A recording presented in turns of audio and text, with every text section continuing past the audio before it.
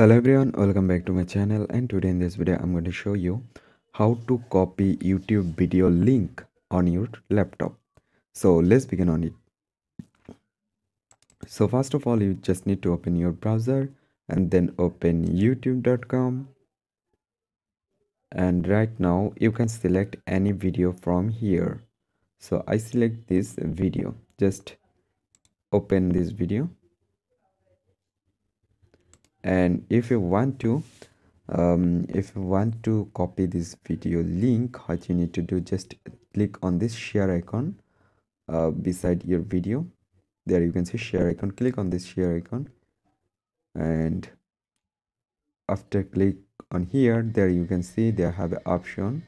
And this is your link and they have an option for copy. You can copy it very easily so that's it. I hope you can understand and I hope guys this video can help you. Don't forget to like and subscribe to my channel